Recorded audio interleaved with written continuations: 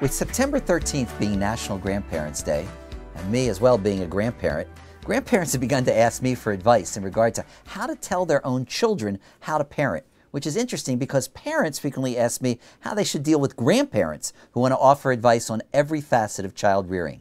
Well, everything's relative, so to speak, so let me see if I can offer some pointers to grandparents and parents.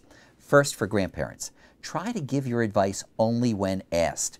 Your children are insecure enough when they begin parenting, and too many of your suggestions, even though you mean well, can shake their confidence. The more you practice restraint, the more you're apt to be asked for advice. Rather than offer advice, praise your children for their parenting skills rather than criticize them, and you may be asked for even more advice than you imagined.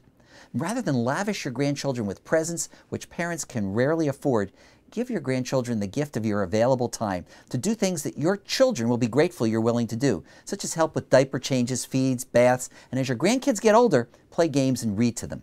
Giving your kids a night off as parents is one of the greatest gifts a grandparent can offer. And parents, you would be foolish not to take advantage of the opportunity for some grandparent babysitting.